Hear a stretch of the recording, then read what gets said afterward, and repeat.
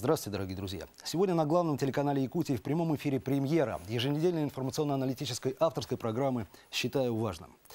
Наступивший 17-й год без гнева и пристрастия уже меняет окружающий мир, и он же обнулил мой прежний телевизионный формат инициировал новый, в котором в продолжении целого часа я буду вести речь о значимых в свете настоящего и будущего событиях и суждениях, идеях и начинаниях, проблемах и вызовах в мире, в стране и в республике. Адрем, как говорили древние, к делу. Доминантной темой сегодняшнего выпуска станет энергетическая безопасность Якутского севера и северный завоз, от которого она, эта безопасность, зависит. Разговор на эту тему предстоит развернутый, но прежде я считаю важным остановиться на некоторых существенных моментах начала и середины января. Какие-то просто обозначить, а на каких-то акцентироваться.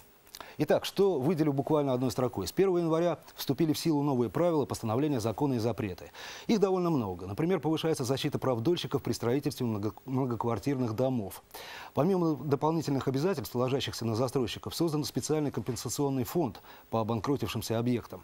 Далее, фонд обязательного медицинского страхования теперь сможет напрямую, а не через бюджет финансировать федеральные медицинские организации на оказание ими высокотехнологичной помощи, не включенной в базовую программу ОМС. Также с 2017 года упрощается процедура направления россиян на лечение за границу за счет государства. А заработавший федеральный реестр инвалидов поможет в частности в трудоустройстве людей с ограничениями здоровья. С этого года расширен список электронных услуг. По интернету теперь можно будет купить полис ОСАГО и подать документы в суд общей юрисдикции. Новый закон о туризме усиливает ответственность туроператоров, а вводимый новый вид уголовного наказания, принудительной работы, станет альтернативой лишению свободы, правда, пока лишь для 900 человек в стране. Именно столько вмещают четыре появившихся исправительных центра. «Не ищите совершенных решений в несовершенном мире», – писал Черчилль. Однако, похоже, Дед Мороз 2017 принес немало либеральных подарков в законодательной сфере. Вот и спикер Совета Федерации Валентина Ивановна Матвиенко допустила возможность отмены антисиротского закона Димы Яковлева. Может, это дает основание разным экспертам и специалистам считать, что наступивший год будет для России нетрудным и достаточно позитивным. Плюс ожидание рекордно низкой инфляции на уровне 4% и, как следствие, снижение ставок по кредитам, по кредитам потребительским, ипотечным, а особенно для бизнеса. Прогнозируемая стабилизация стоимости жилья – во всяком случае в первое полугодие. А для жителей ДФО в этом ряду, конечно, отдельной строкой стоит выравнивание энерготарифов. На минувшей неделе Дмитрий Медведев утвердил план развития экономики на 2017 год, по которому объем поддержки промышленности установлен в размере до 107 миллиардов рублей. Эта цитата должно дать положительный эффект всей нашей стране и ее экономическому развитию. Кроме того, должны быть проработаны меры по поддержке тех регионов, которые находятся в сложном положении, сказал премьер-министр. Какие это регионы и сколько их еще предстоит уточнить? Экономика России может выйти в 2017 году на темп роста в 2% при условии сохранения нынешних цен на нефть и отсутствия новых внешних шоков, считает министр экономического развития Максим Орешкин. И сообщает РБК. А 19 января первый вице-премьер Игорь Шувалов заявил, что правительство России готовит меры по ускорению роста ВВП страны, чтобы в будущем перейти от 2% темпов роста к более приемлемым цифрам. Мы считаем, что 2% для России рост достаточно низкий, сказал Игорь Шувалов. Доктор экономических наук, завкафедрой политэкономии Российского экономического университета имени Плеханова Руслан Зарасов, беседу по скайпу, с которым я записал буквально вчера, не ожидает, цитата, что будет серьезный прорыв в развитии нашей экономики и существенное повышение уровня жизни людей в 2017 году. Экономическая активность снижается, обретает новое равновесие, но на уровне ниже прежнего. Конец цитаты. Давайте посмотрим первый фрагмент этого интервью. У нас бюджет сейчас запланирован на три года вперед. Это положительный момент, то, что мы вернулись к более долгосрочному бюджетному планированию, отошли от годового бюджета. Но э, в этом плане главной целью бюджетной политики на предстоящие три года, главной целью ставится сокращение бюджетного дефицита. А, и этой цели служит сокращение расходов. Причем впервые за постсоветский период сокращение расходов государства планируется темпами э, более быстрыми, чем ожидаемое падение доходов бюджета. Э, ожидается, что за три года доходы бюджета сократятся на полпроцента ВВП, а вот расходы должны сократиться на 2,5%, то есть в 5 раз быстрее. А, и в этих условиях сокращаются прежде всего расходы на, э, на национальную экономику, сокращаются расходы на оборону, э, и падает в, в структуре бюджетных расходов, падает доля расходов на образование и науку. То есть вот те э, статьи бюджета, которые влияют на экономику, предполагается резко сокращать. Ну, в этих условиях инфляция, даже если удастся удержать инфляцию на уровне 4%, как планирует правительство, все равно, мне кажется, что реальные доходы населения должны сокращаться. Руслан Зарасов привел недавний пример, когда в 2014-2015 годах доля зарплат резко снизилась в ВВП страны в реальном выражении, а доля прибыли возросла. И в эти годы, по оценкам Центробанка, чистый отток частного капитала за рубеж составил 210 миллиардов долларов. Цитата. «Значит, частный бизнес на снижение реальной зарплаты реагирует не увеличением инвестиций, а увеличением вывоза капитала за рубеж». Конец цитаты. В интервью российской газете, опубликованном во вторник, 17 января, министр труда и социальной защиты России Максим Топилин заявил, цитата, Заработная плата, по нашим оценкам, будет увеличиваться. Не только номинальная, но и реальная. По итогам 2016 года мы, скорее всего, увидим рост реальных зарплат, потому что уже с августа наметилась положительная тенденция к их повышению. Конец цитаты. Вместе с тем, по словам Топилина, уровень безработицы в стране не повысится. И тут я считаю важным поделиться информацией, опубликованной агентством Регнум 20 января. С начала 2017 года сведения о планируемом высвобождении более 2000 работников представили 126 организаций Якутии.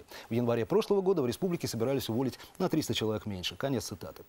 Возвращаясь к зарплатам, 13 января глава РСПП Александр Шохин в кулуарах Гайдаровского форума высказал мнение, что в 2017 году крупные работодатели начнут увеличивать увеличивать зарплаты. При этом он пояснил, что данный рост не будет превышать темпы инфляции. По результатам опроса Фонда «Общественное мнение», опубликованным в четверг, 19 января, положением дел в стране довольны 47% и недовольны 45% респондентов. 49 и 44, соответственно, довольны и недовольны положением дел у себя в городе, в селе. Больше всего недовольства у респондентов вызывает работа властей в сфере здравоохранения, экономики, соцзащиты и образования. Вице-премьер Игорь Шувалов на форуме в Давосе в качестве основной проблемы российской экономики назвал человеческий капитал. Что надо сделать, чтобы разорвать этот порочный круг, когда граждане критикуют экономику и сами же являются ее главной проблемой? Система образования и рынок труда должны приспособиться к условиям мировой конкуренции, но, как признал вице-премьер, пока Россия в этом проигрывает. А по мнению бывшего главы, главы Минфина России, а ныне руководителя Центра стратегических разработок Алексея Кудрина, самый серьезный вызов – это угроза технологического отставания. На Гайдаровском форуме он предложил создать на территории России 10-15 крупных агломераций, которые могли бы стать альтернативой Москве и Санкт-Петербургу и привлечь в регионы молодежь. Представляется все же, что это отдаленная перспектива. И, возможно, она лишь вследствие общего подъема экономики. Своим рецептом оздоровления который поделился в интервью и Руслан Зарасов. Э, на самом деле надо, конечно, просто отказаться от неолиберального экономического курса.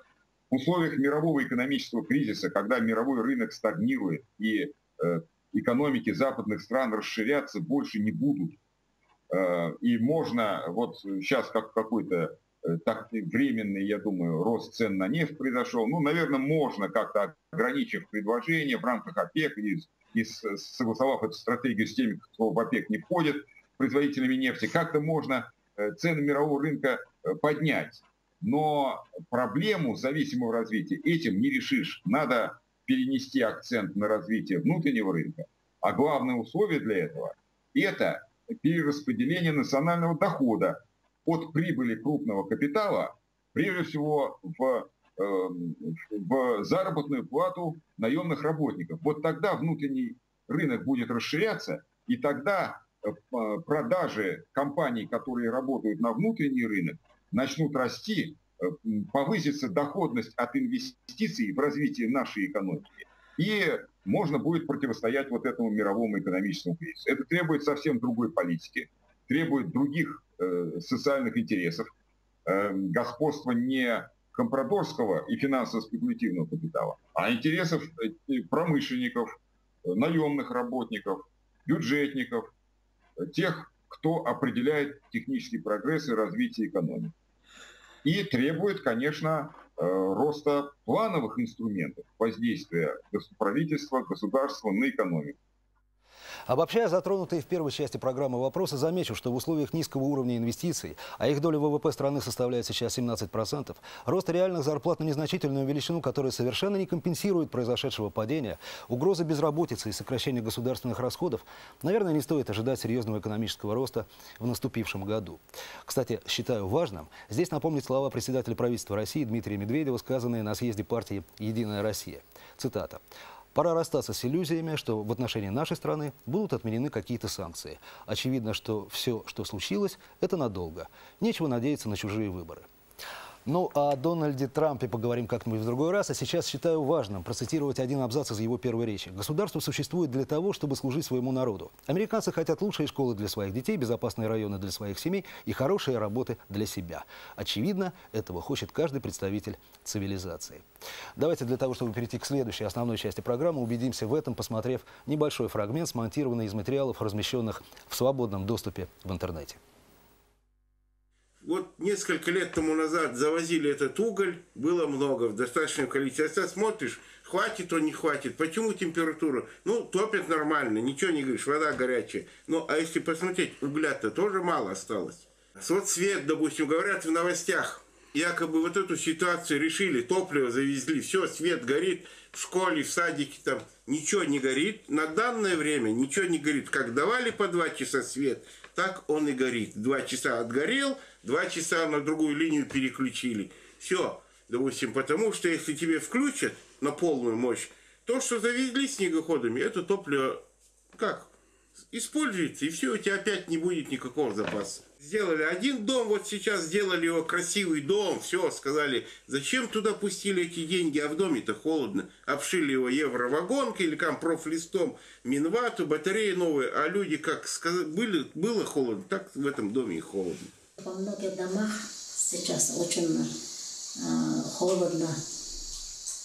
Э, и я, как я знаю, где мои, мои родственники живут, вообще минусовая э, до пяти кое-как доходит, если тепло. Напоминаю, мы в прямом эфире, и вы смотрите программу «Считаю важным». А, у нас в гостях сегодня энергетики, у нас в гостях сегодня научный, научный сотрудник отдела проблем энергетики э, Института физико-технических проблем Севера имени Ларионова а, и руководитель департамента по координации завоза грузов Государственного комитета по обеспечению безопасности и жизнедеятельности населения. Я хочу сказать, что наш телефон в прямом эфире 42 14 39 и сразу после рекламы э, вы сможете к нам дозваниваться. Мы будем рады, и наши гости, ответить на ваши вопросы. Э, ну, начнем мы уже, наверное, после, после рекламы.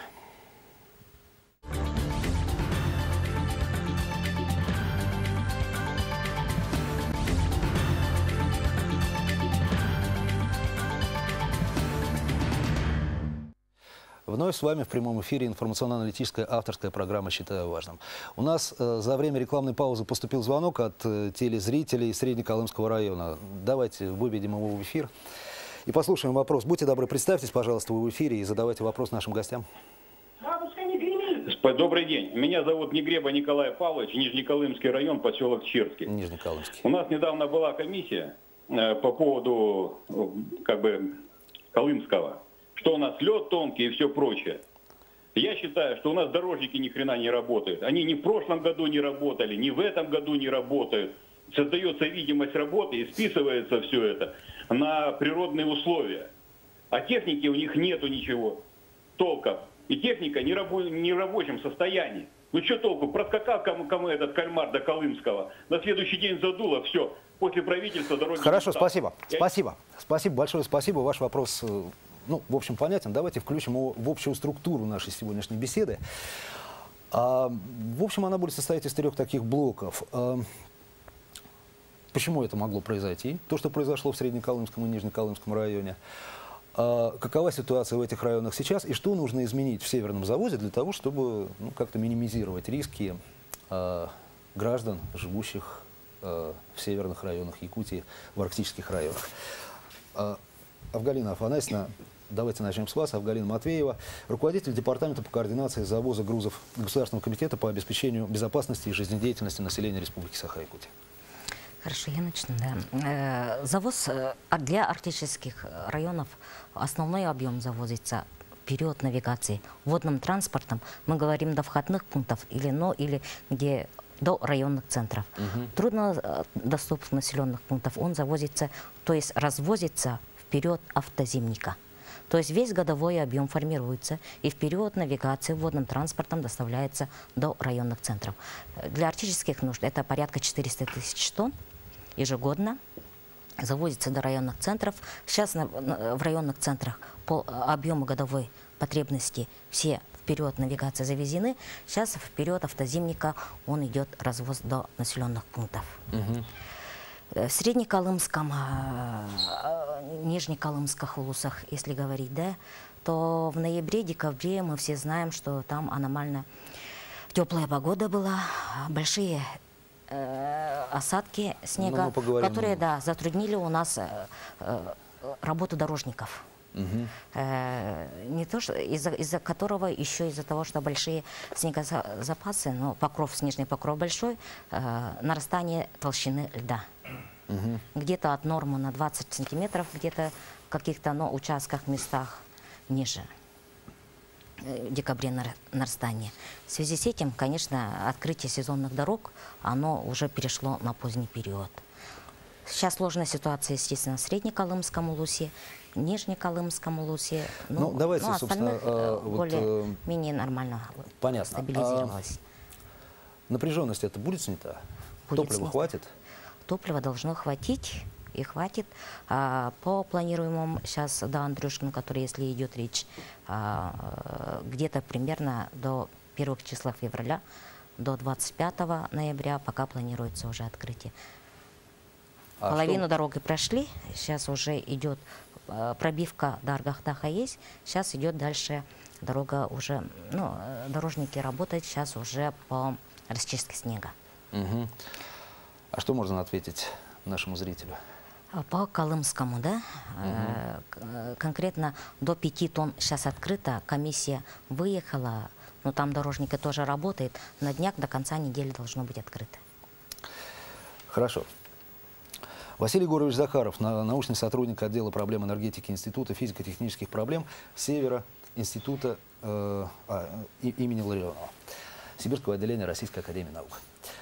А, Василий, а всегда зима приходит неожиданно, вот, э, собственно говоря, или она какая-то особенная в этом, в этом году? Ну, о погоде ну, более точно могут сказать мои коллеги, которые занимаются этим делом. Но хотелось бы сначала уточнить само понятие энергетической безопасности. Оно не только формируется так, завозом топлива. Энергетическая безопасность – это состояние защищенности граждан, экономики общества от угроз различного рода, дефицита в обеспечении их э, обоснованных потребностей в энергии экономически доступными и приемлемого качества энергоресурсами.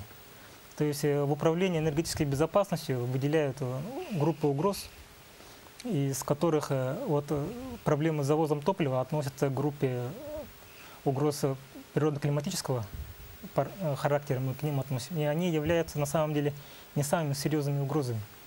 Э, Намного, Какие самые серьезные? э, намного существеннее, серьезнее угрозы стоят в экономическом блоке.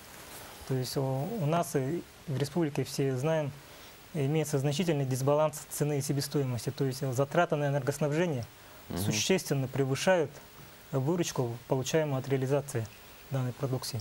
Э, По нашим оценкам, ну, мы немножко вот укрупненные оценки проводили в 2014 году, по факту 2014 года и ретроспектива 3-4 года. Мгм. И на уровне 2014 года этот дисбаланс нами оценивалось э, с учетом перекрестного субсидирования в районе 22-25 миллиардов рублей ежегодно. То есть вот это очень серьезная нарастающая проблема, Ну, серьезная сумма. которая предстоит нам решить. Это самый серьезный вызов. А вопросы, э, возникающие с топливом, решаются простым резервированием топлива. Надо просто следить за ситуацией изменений в клима, э, климатических изменений, погодных условий, э, прогнозировать потребности и правильно резервировать. Ну, здесь тоже свои специфические проблемы также имеются э, в плане долго- формирования долгосрочных запасов, так как э, никакое топливо невозможно завести э, заранее за 3-4 года, как э, у нас было бы идеально, и сохранять его в данном промежутке, не чтобы топливо само сохранялось и не теряло качество. Это тоже А вот давайте спросим, Алексей Юлев, э, испол- исполняющий обязанности гендиректора Сахаэнерго, акционерного общества. Возможно ли завести заранее? Ну, заранее, если мы говорим, значит, чисто теоретически, заранее, конечно, возможно. Но хранить его, как только что уже значит, было отмечено, невозможно. К сожалению, дизельное топливо, оно э, значит, потеряет свои физико-химические свойства, Свойства. да, и, конечно, будет непригодно для использования. Здесь еще необходимо э, отметить еще один очень важный момент, да, который значит, также э, были отмечены. Значит, это разница между себестоимостью и ценой. Надо понимать, что значит, завоз и хранение большего количества топлива, большего количества топлива, это, естественно, увеличение стоимости вырабатываемой продукции. Да, конечно, естественно, значит, конечно. это топливо придется закладывать в стоимость. Да, то есть его нужно будет охранять, его нужно будет хранить. Естественно, тариф на электрическую энергию он возрастет. Ну и потом э, создавать запасы, да, э, значит, их же тоже невозможно создавать до бесконечности. Мгм. А на самом деле топливо заводится, э, завозится с определенным запасом. М, Завозится годовой запас объема топлива, да, то есть для э, м, потребностей для работы дизельных станций. Исходя из этого формируются запасы. Понятно. Сергей Гаврилов, главный инженер Якутскэнерго. Здравствуйте. Здравствуйте. так э, как минимизировать, собственно говоря, вот кроме, может быть, э, ну, каких-то прозвучавших уже, да, э, идей, риски для людей, живущих там на севере? Ну, я считаю, что должна быть разработана достаточно гибкая схема а, доставки дизельного топлива, потому что а, ежегодно м, меняются природные А условия. сейчас она жесткая, не гибкая. Ну, э, существуют, называем так, стандартные схемы завоза топлива, да, стандартные схемы работы дорожников, да, стандартные схемы работы по зимникам. На самом деле э, нужно переходить к более гибким схемам. То есть, э, чтобы у дорожников в наличии была не только тяжелая техника, которая бы позволяла расчищать зимники в более ранний период времени, в зависимости от более высокой температуры наружного воздуха и, зимнего покро- и снежного покрова.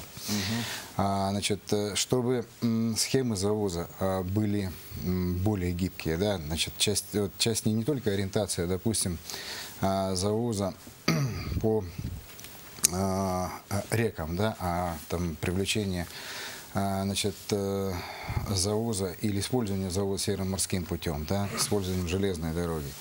А, значит, э, не только создание, значит, там емкостного парка, да, где-то увеличить его, где-то его уменьшить, да, как я уже сказал, дорожники, что привлекали более, техни- более легкую технику для того, чтобы, а, значит, э, в более ранние сроки открыть зимники. Ну, к примеру, да, по Колымскому стало возможно, значит, открытие перевозок до 5 тонн только благодаря тому, что а, значит, вот снегоходы да, или вездеходная техника, она уплотнила снежный покров и, соответственно, позволила значит, увеличить ледовые а, значит, э, э, ну, проморозку а, вымыть дороги и, соответственно, доставку техники.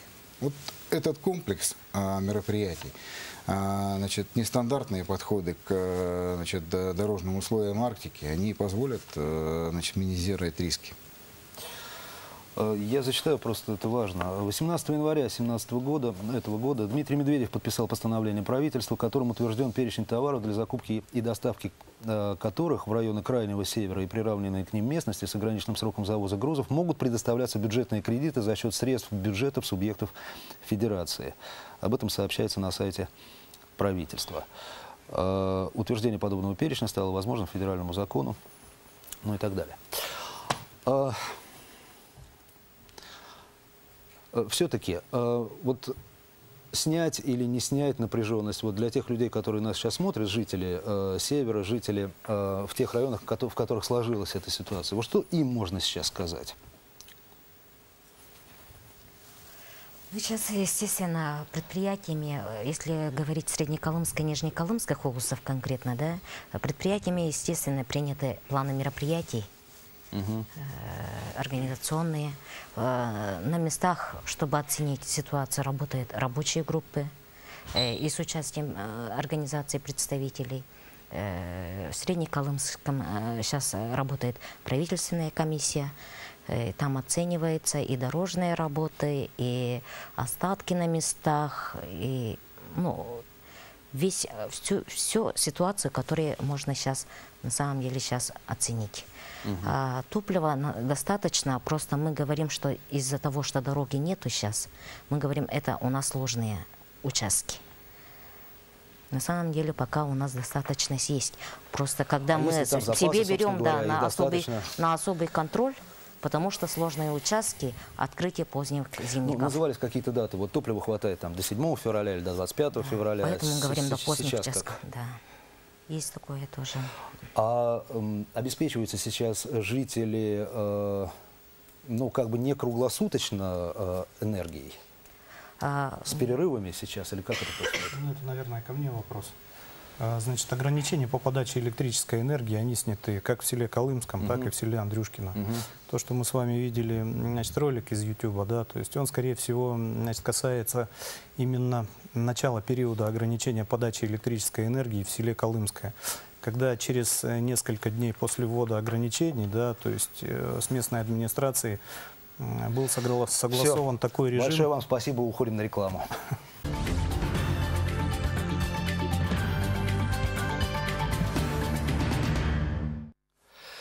Мы продолжаем наш эфир. Э, У нас новые гости в третьем блоке нашей программы, но говорить мы будем, ну, в основном, и начнем разговор, собственно, продолжим его, о том же самом, об энергетической безопасности э, районов севера Якутии, о северном завозе. Э, Мои собеседники в третьем блоке программы «Считаю важным» Галина Мазалевская, журналист и редактор ЕСИА, и Виталий Андрианов, главный редактор газеты «Якутия». На прошлой неделе в новостях по НВК «Саха» э, прошел сюжет, собственно говоря, вот э, о том, э, прошел сюжет, э, значит, который фоном может служить для нашего разговора. Давайте мы его сейчас посмотрим про хищения, которые произошли и вскрылись. Тем временем, сегодня вскрылась хоть и не основная, но все же веская причина начала чрезвычайной ситуации в Колымском. Солярку крали сами же работники электростанции. Старший мастер, электромонтер и машинист похитили более 6700 литров топлива. По факту хищения топлива возбуждено два уголовных дела в отношении электромонтера электростанции, а также машиниста электростанции. А, Кроме того, уголовные дела возбуждены а, заместителем руководителя Колымского межрайонного следственного отдела Следственного управления Следственного комитета России по Республике Саха-Якутия по двум эпизодам преступлений, предусмотренных частью 3 статьи 160 УК Российской Федерации в отношении старшего мастера электростанции. В настоящее время по делам проводится предварительное расследование. По данным статьям, нефтемагнатам-неудачникам местного разлива грозит до 4 лет лишения свободы, а также громадная благодарность от односельчан, естественно, в кавычках. Ну, Вот эта вот часть сюжета, который был в эфире НВК «Саха», э, готовил его мой коллега Виталий Абрамов. Ну, что вот это такое за хищение шести с небольшим тысяч э, тонн, да, литров, литров даже, да, топлива? Это же капля в море. Это что, это вот козлов отпущения нашли в виде этих ребят? Нет, ну, может быть, просто повод все-таки начать работу. Ведь транспортные и другие предприятия, они решили эту проблему. Хищение топлива были не только у энергетиков. Тут больше э, вообще сама, сама проблема в том, что в принципе не должно быть э, стоять вопроса, когда счет идет там на сутки обеспечения на двое, причем в экономном режиме. Это речь, здесь уже говорилось, что сама схема стандартная, которая применяется до сих пор на севере по снабжению, она не предусматривает каких-то экстренных ситуаций, которые вот уже на протяжении многих лет с разных сторон бывают. И такое впечатление создается, что Всегда в экстренных ситуациях живем. Да, давайте же прямо говорить, что эта схема давно устарела.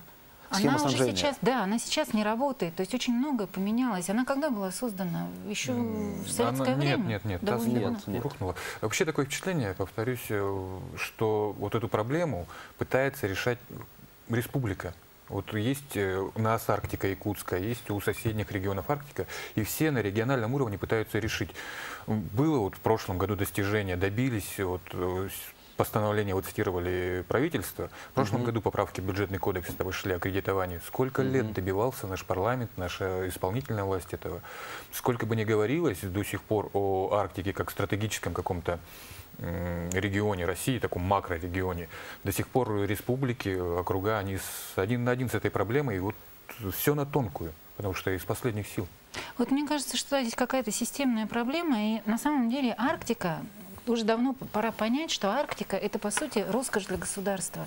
И, соответственно, если мы хотим сохранить вот эти арктические территории, то мы должны уделять им внимание не только на уровне регионов, но и вообще и на федеральном уровне. То есть э, об, об этом нужно думать, думать постоянно. И, на мой взгляд, Арктика, она ну, сама себя никогда не окупит, она не будет экономически выгодной. То есть а недра? ей нужно уделять а недра? внимание. М? А недра? Ну, недра, э, добыча недр в, в Арктике, ну, это, это же...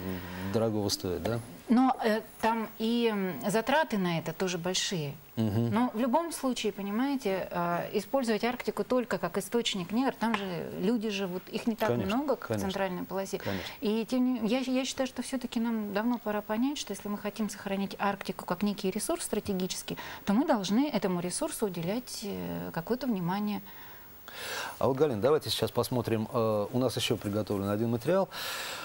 Э, мы получили его из Москвы, э, интервью с постоянным представителем Республики Саха-Якутия при президенте Российской Федерации Юрием Куприяновым. Арктика, она сегодня воплощает все будущее. Многие в нем видят новые ресурсы, многие видят сферу обитания, ну и в-третьих, бережное отношение того, что мы уже прошедший путь нам показывает, и этот опыт – и то, что вот э, буквально 29-30 марта в Архангельске будет четвертый форум с участием президента страны Владимира Путина, э, так и звучит Арктика – территория жизни человека. Республика будет в этом участвовать. Мы движемся в постоянном направлении в, чуть, ну, в купе с Министерством экономического развития Российской Федерации, которые вырабатывают эту методологию, это формирование взаимоотношений бюджетных ну, вложения и прочих вещей в развитие арктической зоны. А, Алексей Александрович Стручков, наш министр и первый заместитель председателя правительства, является членом этого организационного комитета. Мы предполагаем, что Егор Афанасьевич, правительство Якутии, министерство примут участие активное в обсуждении этих проблем. Более того, наш Северный форум. Что добились сегодня? Сформирование того, что, что считать Арктикой, как подойти к Арктике, мы сегодня уже в Министерстве экономического развития имеем взгляд, сформированный с участием правительства Якутии, это 8 опорных э, зон развития Арктики. Якутия называется Северо-Якутская опорная зона. Это наше достижение, я считаю. И те взгляды развития Арктики, которые касаются прежде всего транспортной инфраструктуры, там занимают главное место. Э, практически сегодня никто не будет отрицать, что до 2050 года Арктика будет снабжаться только речным транспортом и развитие нашего Ленского объединенного речного пароходства является там основной нишей, которой республика добивается финансирования, отстаивания и его развития. Ну вот мы поднялись до обобщений на макроуровне, то есть то, вот, о чем мы сейчас говорили, да, это вот э, о чем Юрий Степанович приятно сейчас сказал. Процитирую. Предложения Якутии включены в проект госпрограммы социально-экономического развития Арктики до 2020 года. И дальнейшую перспективу проект будет рассмотрен правительством страны. 1 февраля Якутия внесла предложение в части изменения состава арктической зоны Российской Федерации. Но при всем при том, завоз на следующую зиму вот. уже формируется. Вот. Вот. Уже сейчас практически у нас готовятся проблемы, которые могут возникнуть по этим старым схемам снабжения не знаю, еще погода опять что-нибудь, не дай бог, выкинет. Она вот выкинула, собственно говоря, Дунай замерз, не замерзающий. И коллапс наступил чуть ли не в 10 странах европейских, по которым э, идет снабжение, э, по, по Дунаю идет снабжение этих стран. У нас может быть все что угодно совершенно, да? На Арктику нельзя распространять общие правила, это исключение сплошное, вообще экономическое в том числе. И экономически, конечно, нужно вводить новые правила для снабжения. Тогда это может быть и обоснованный тариф какой-то, и действительно вы, выгода приобретения от того, что мы там остаемся, и возможно какое-то развитие. Но это все зависит от снабжения корень именно в снабжении. Вам доводилось писать на вот э, эти вещи, потому что они повторяются, в общем, из года в год, да? Давайте вспомним, э, что было, вот, ну, на нашей памяти буквально. Ну, далеко вот ходить на и причины, и давайте Два года назад, да, когда не, до, не довезли э, на Белую гору, то есть э, по Индигирке не смогли завести нужное количество продуктов питания и так далее. Там, насколько я поняла, причина была в том, что река сильно обмелела, угу. и просто не смогли да, да, да низкий уровень сюда не смогли пройти. Вот опять, да, вылезает проблема. А, не, не занимая, ну, говорят, что занимается дноуглубительными работами, но не справляется техника, которая на сегодняшний момент есть в распоряжении э, путейщиков. Да? То есть ну, просто не хватает... С той поры вот... земснаряд еще появился распоряжение путейщиков. Один. Но, тем не менее, ну вот в прошлом году была ситуация... Да, но одного снаряда мало, я так понимаю, ну, потому ну, дополнительно что... одного, конечно, да, их было больше. Ну, а И, кстати говоря, вот низкие уровни угу. несколько лет подряд прогнозируют э, метеорологи. Воды. Да, да, да. То есть, скорее всего, это уже Помимо как бы этого, данность, с которой нужно считаться. Помимо баров рек был еще неблагоприятный ветер э, с океана, который прижимал флот там неделю или две к берегу, не могли не выйти в морскую навигацию нормально. Причин много. И это ведь буквально это на моей памяти началась проблема, когда каждый декабрь, январь э, в каком-то таком режиме напряженном стоит вопрос о снабжении. Ну, он постоянный, собственно говоря. И в авральном порядке, собственно говоря, вот все решается. А вам доводилось бывать в тех районах самим? Да. А, а вот в такую пору? И в такую пору. И в такую пору тоже? Как это по ощущениям, да? Э, может быть, вопрос как-то так ну, неправильно звучит, да? Вы э, на себе испытали вот то, что сейчас испытывают э, жители Нижнеколымского, например, района? Ну, я думаю, что здесь, э, если бы в Якутске вот сейчас люди остались без света и без тепла, они угу. испытывали бы то же самое, ну, на самом-то деле. Угу. Потому что здесь тоже довольно низкие температуры, достаточно ну, низкие, чтобы испытывать дискомфорт. Поэтому, конечно, Нет, ничего. Наверное, есть то, что трудно ощутить вот так вот, приехав в командировку, когда люди в магазине еще вроде на полках э, товар есть, но предприниматель говорит, у меня через две недели не будет ничего. Все, кончится. И полки будут пустые. Вот и на, на момент, ну, там, да, правительственная комиссия поработала, там нашли какие-то выходы в очередной раз, э, но вот на, на момент приезда туда, в поселок, у людей было полное ощущение, что через две недели вообще непонятно, как жить дальше. А если дело касается топлива? Помните, как с углем в Среднеколымске тоже три года назад была ситуация? Да. Вы будете писать о той ситуации, которая сложилась сейчас, и ну, в своих изданиях, и о путях выхода, собственно, решения этой проблемы? Мы уже и декаб... как? Мы уже в декабре начали писать, собственно, угу. о том, что происходит. Тут ведь много еще наслаивается. Вот э, кредитование э, из бюджета разрешили то же время, с другой стороны, изменяют э, требования к накапливаемым товарам и практически и исчезает понятие депонации, когда был запас там, на два года на самом деле, а не на год. То есть сокращается все, условия становятся жестче по завозу. Примерно вот как с дизелем говорили, его нельзя надолго завести. Ну да. Сейчас тоже распространится на продукты. Уже распространилось, по сути дела. А как писать о таких вещах? Потому что напишешь, э, ну так, сгущая краски, вроде бы не, ну, там, и, и, не очень правильно, потому что проблема решается. А напишешь легко, тоже вроде бы неверно, потому что людям тяжело там жить. Я думаю, здесь, наверное, не столько писать, сколько, в конце концов, начать решать эту от проблему. Нас, от нас тоже зависит, наверное, да, как, то, как мы говорим об этом, то говорим ли мы об этом вообще, собственно. Тут несколько уровней проблемы, и повторюсь, то, что я наблюдал неоднократно и видел, муниципальные, республиканские власти буквально на грани возможности делают все, что могут, каждый раз.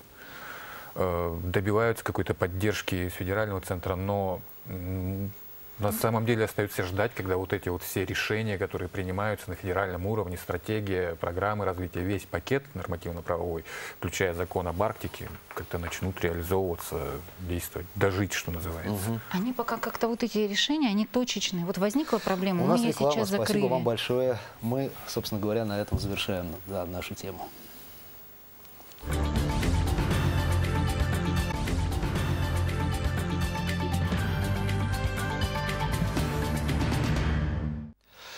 Еще раз добрый вечер, дорогие друзья, добрый вечер те, кто был с нами э, все, все, все это время в эфире, и те, кто подключился э, к нам только что. Э, в эфире информационно-аналитическая авторская программа «Считаю важным», премьера этой программы. У нас в гостях сегодня э, специальный гость программы Первый заместитель министра культуры и духовного развития Республики Саха-Якутия Владислав Левочкин. Владислав Валерьевич, добрый вечер. Добрый вечер. Э, мы не поднимаем только одну тему в программе, их несколько.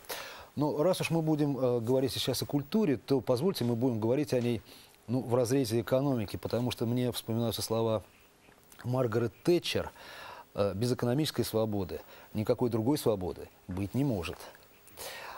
И вот, собственно говоря, культура и экономика. Все-таки, наверное, так вот сейчас будем строить разговор. 25 числа, э, послезавтра, будет отчет министра культуры. Э, какие там будут положения, какие там будут позиции в этом отчете? Ну, традиционно мы отчитываемся перед отраслью о том, что сделано министерством по развитию культуры республики. И, конечно, вот э, большая часть тех событий, которые видна общественности, которая видна э, нашим зрителям, она ну, имеет такой как бы мероприятие партийный характер, да, то есть это какие-то спектакли, гастроли. Э, вот успех года кино, конечно, он всем был заметен, э, как э, события были известны и на всероссийском, на международном mm -hmm. уровне. А, конечно, большая часть тех вопросов, которые есть и всегда очень актуальны для нашей отрасли, они остаются невидимыми для зрителей, для наших слушателей, для вот, аудитории, для широкой общественности. Те вопросы, которые очень важны, на которых э, ну, вот, основывается на самом деле вот этот видимый успех. Допустим, в прошлом году вот был, были приняты очень важные документы для нашей отрасли, например, стратегия культурной политики в Республике Саха-Якутия, вот ровно год назад она была принята, была принята концепция развития э, детских школ искусств в Республике Саха-Якутия, ну вот такие вот, скажем, важные события. А, опять же, прошлый год был годом дополнительного образования а, в целом в республике, который мы проводили совместно с Министерством образования и Министерством спорта. И это стало таким тоже важным моментом. Но это не, не всем известно, да, это неизвестно широкой публике. Мы об этом будем обсуждать, о том, вот, что нам это дало, о том, каким результатом мы пришли и какие задачи мы должны поставить на следующий период развития. А какие задачи мы должны поставить на 17 год, Владислав? 17 год, ну, 17 год он будет э, тоже особым, и у, у нас и есть и свой календарь памятных дат по 2017 году. Ну, конечно, важные, наверное, э, особо важными задачами можно определить те, которые нам ставит руководство республики, вы знаете, что вот в начале года глава Республики Егоров Анасий Борисов встречался с каждым министерством, и каждому министерству он определил такие важные приоритетные задачи на 2017 год. И вот одна из самых таких актуальных задач для всех отраслей – это развитие местного производства. -hmm. В том числе э, перед нашей отраслью, перед отраслью культуры, развивать местное производство как а, ну, вот в форме культурных индустрий, так и в форме а, ну, вот народных промыслов, э, того, что можно, может быть вот, э, отнесено к местному производству, что могло бы развивать рабочие места и э, ну, вот, снижать безработицу. Ну вот, кстати, и рабочие места, может быть, в том числе и на севере республики, да? Да. То, о чем мы говорили. Потому что, ну, не только тепло и не только, ну, банальность, конечно, сейчас скажу, да, не хлебом единым, да, жив человек. А, кстати говоря, э, э, речь идет о том, чтобы э, эти предметы народного промысла, произведенные, потом реализовывались. Ведь мало их произвести, собственно говоря, надо их предложить.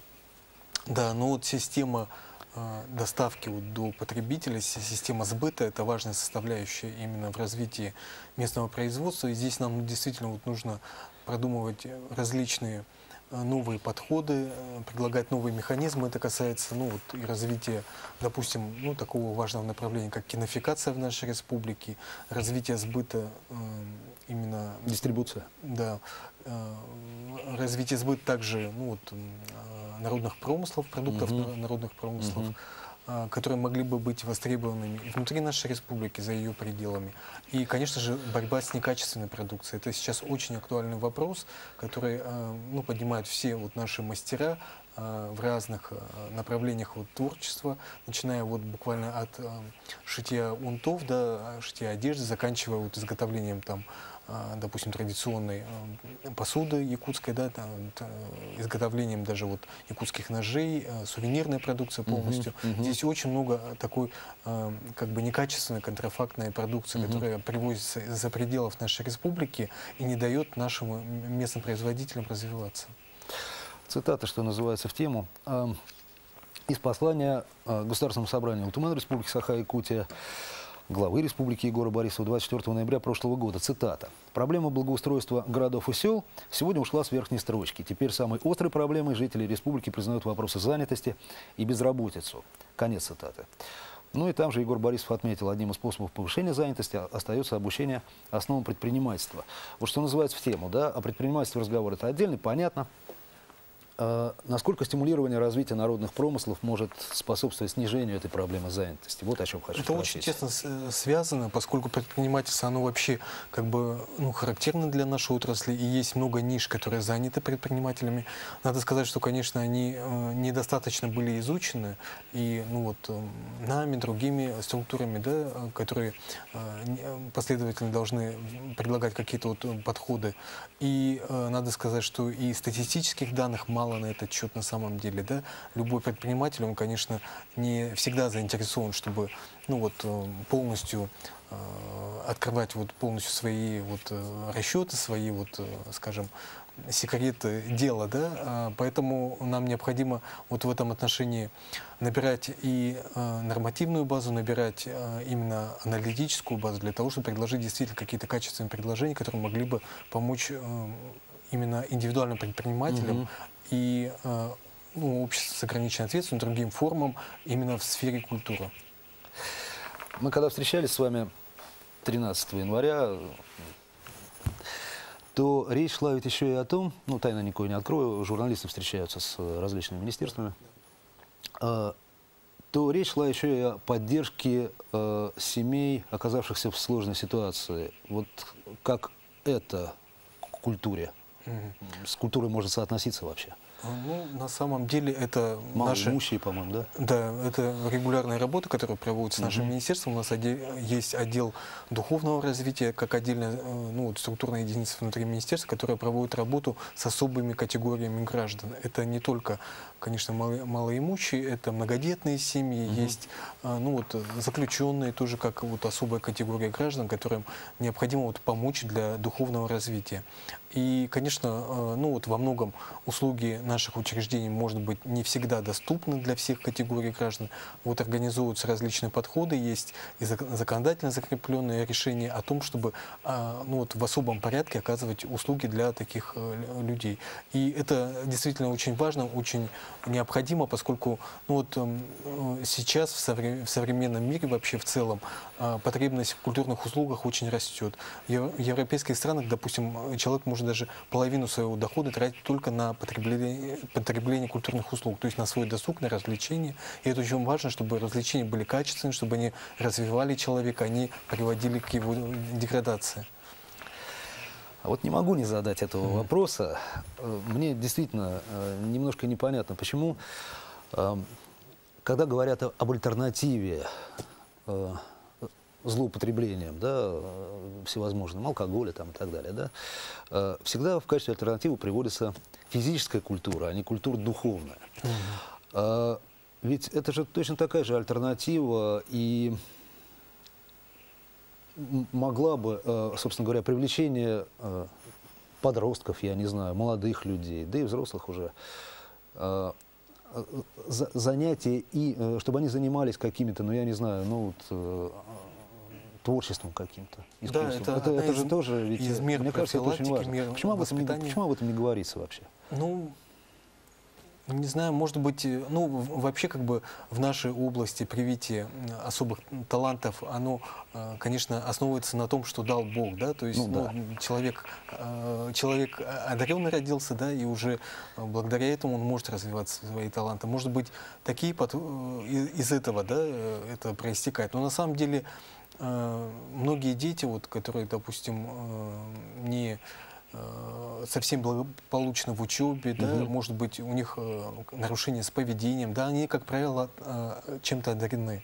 Они, как правило, у них есть какие-то таланты, они музыкальные, у них хорошая, вот, допустим, ну, физическая, спортивная подготовка, они могли бы, ну, вот, может быть, ну, как сходное что-то со спортом, да, как цирковое искусство, хореографическое ну, искусство. Конечно, да, конечно. И многие, на самом деле, вот наши деятели искусства, ну вот так сложилось э, как в их судьбе, что они ну, вот были, допустим, выходцами из детских домов, да, они стали, а, а, стали преданными искусству именно благодаря тому, что они, может быть, ну, вот не было у них родных, близких людей. Владислав, э, остается минута буквально. Э, хочу очень серьезный вопрос задать. Э, такой государственный вопрос. А как можно в культуру, в культуру внедрять принципы проектного управления? Проектное управление, оно вообще в целом характерно для нашей отрасли. А Все, что, ну, вот, начиная от проведения мероприятий, заканчивая, там, допустим, Э, съемкой фильма, да, это все то, что касается проектной деятельности. То есть собирается команда, которая нацелена именно на получение конкретного результата по конкретному проекту, проекту да. и угу. она подбирается именно под этот, под этот проект. проект. То есть она составляется под этот проект, потом она заканчивает свою жизнь и рождается новый проект. На съемках фильма «Илдархан» я слышал, тарелочку разбили в первый съемочный да, день. Да, да. Поздравьте, есть, пожалуйста. Да, вот я вас поздравляю с этим. То, собственно, э, я не знаю, я хочу, конечно, спросить, когда результат-то ждать, но это даже через год, наверное. Ну, да? вообще этот кинофильм готовится к тому, чтобы прокатываться по всей республике, э, ну вот в год празднования столетия республики. Понятно. Владислав, время просто пролетело незаметно. С вами была программа «Считаю важным». Премьера.